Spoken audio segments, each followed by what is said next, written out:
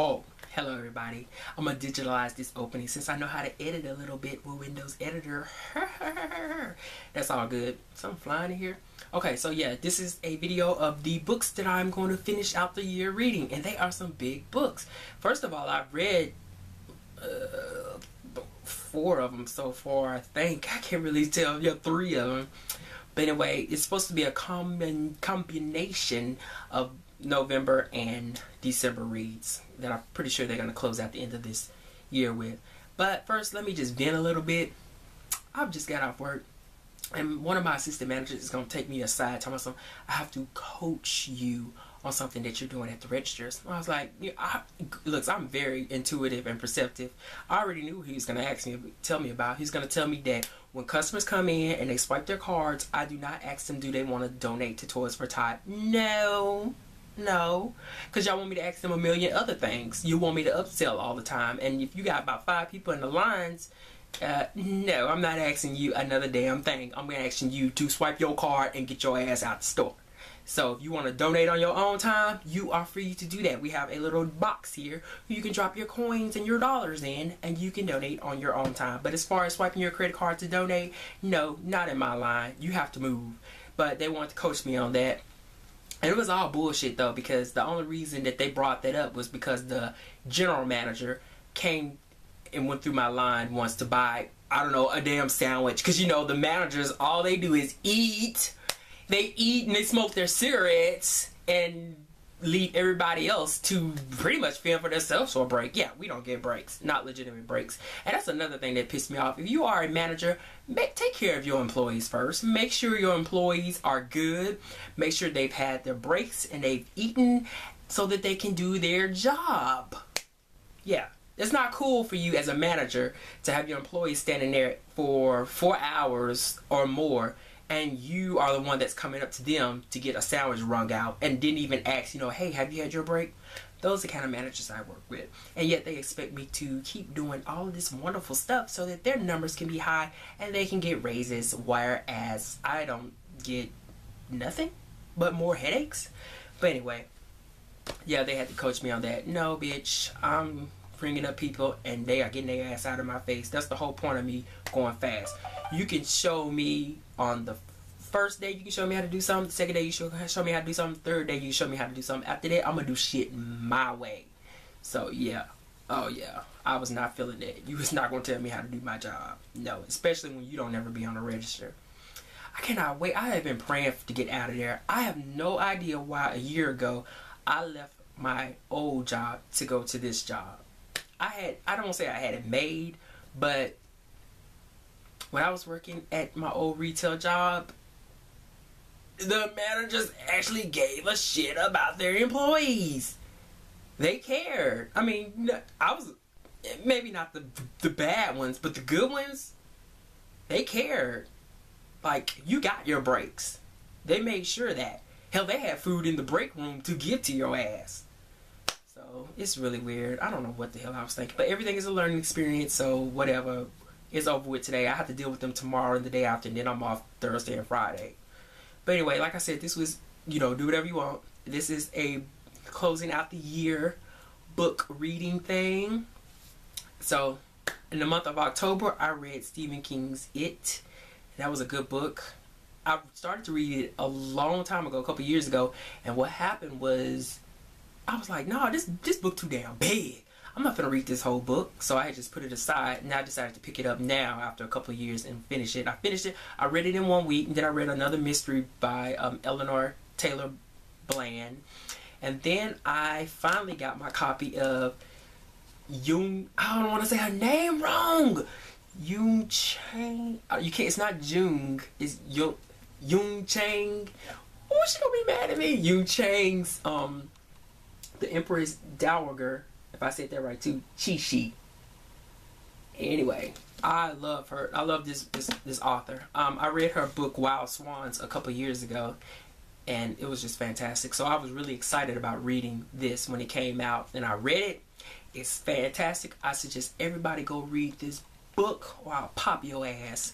So please go pick up this book. It's a biography of one of the last emperors, empresses of China. Very good book. I also wrote a little, um, I hate saying review, maybe a discussion piece of my own opinions about this book in my blog, and I'll link that down below. So, following that, I got Amy Tan's The Valley of Amazement. Oh, yes. You know, I love Amy Tan. Everybody knows I love Amy Tan. Um, my favorite book by her is um, The Kitchen God's Wife. But I was very excited to have The Valley of Amazement since it's been eight years since she released a book. And this is what I got. You know how they do this on the internet? Wait a minute. Yeah. Ooh, I'm Chinese today. But yeah, anyway, I got Amy Tan's The Valley of Amazement. I read it. It's, it was pretty good. It was, I don't think it was her best. I don't know, it had this feel to it, but instead of just trying to, you know, say what I mean about in the video, I'm going to link this book to my blog where I've written a discussion, but not a review, about this book. Get over there. I slammed that book down. And then we have Patricia Cornwell's Dust. Uh, this is book number 21 in the Patricia Cornwell, stop lying, in the Kay Scarpetta book series, Forensics, you know, she does open up corpses, all that cool stuff. But yeah, this is book 21. It's big. It doesn't take that long to read it. Well, it kind of took me a week, but still, anyway, a week and some days. But anyway, this book was dry as freak. I was really dry. I'm currently trying to write not a review, but a discussion piece about this book on my blog, and it should be the next entry up next. So I'll put a link there whenever I update that. And then, of course, we have the final Sailor Moon Short Stories Volume 2. Yeah, baby. I always do this on the videos. Anyway, look at that. Yeah, this was great. Ooh, excuse me. Um, I don't like the Princess Kaguya. If I say her name right, don't be mad at me. Um, story. But um, yeah, this is that's what it mainly consists of. But I love Rei's um Casablanca uh story. Anyway, what I'm currently reading now to keep up with my list is Rich. Wait a minute, Crazy Rich Asians by Kevin Kwan. Hope I said his name right. Yeah, this book is pretty good. I've been wanting to read this book since I saw it at Barnes and Nobles, like sometime over the summer. But I was not, I was not about to pay, well, twenty five ninety five, basically thirty dollars. I was not about to pay thirty dollars for it. So I finally got a copy for like uh, seventeen or eighteen dollars. I ordered online. I'm reading it now, as you can see my bookmark, and this book is it's not it's it's pretty interesting so far. Once you dive into the characters and everything you be straight. So it's pretty good. I can't wait to read it. It's a pretty fast read.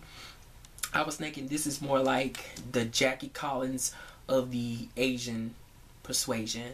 Right. That's what i mean if you know who jackie collins is i can't read all of jackie collins' books some of them just ain't written too well for me or something like that so once i finish crazy rich asians i'm on a tie between Nelson Mandela's Long Walk to Freedom. Now, I know Nelson, I can't even say his name right. He probably pissed at me.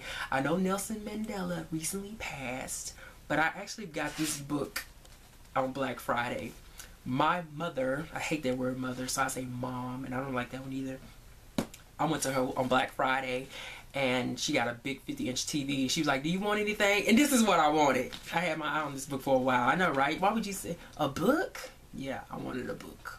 So she was like, "Do you want anything?" And I got this book here, and I also got uh, Jung Jung Chang's Moi. Oh, I'm so sorry, I can't say Mao. Listen, whoop my ass if you want to. I can't pronounce. I love Chinese stuff, but goddamn it, I, I can't say their names like that. But anyway, my my tongue don't roll that way. I'm so country. But anyway, this is the biography of Mao. I should have researched that. Ooh. The Unknown Story. Anyway, I've been wanting to read this book for a while, and um, it was so huge that I never got to it. So I finally, after I read um, Chi Chi's uh, biography, I finally got a copy of this, and I cannot wait to read it. So this is great. I love these. But basically, I'm going to be closing out the year reading these two. But I don't know which one I want to read first. Do I want to read this one first or this one? I don't know which one I want to read first. So, any suggestions? Anyway, that's closing out my video. Nine minutes, good. I did not go over 12. I appreciate all the comments and the likes and the other good things that came along with that. And um, as I read these books, I'm gonna try. I'm trying to get stilted into writing about them in the blog so that I can more elaborate instead of trying to run my videos off past 10 minutes, which is what it's doing now. So I thank you all. Appreciate it so much. This is probably the last video for the year. I did my goal. I was going to do one video every month, and I actually managed to do that, plus some. So that's even more fantastic, and I appreciate it. And I'm going to try to add some music to this. And the people at my job, I ain't going to say nothing wrong. Bye.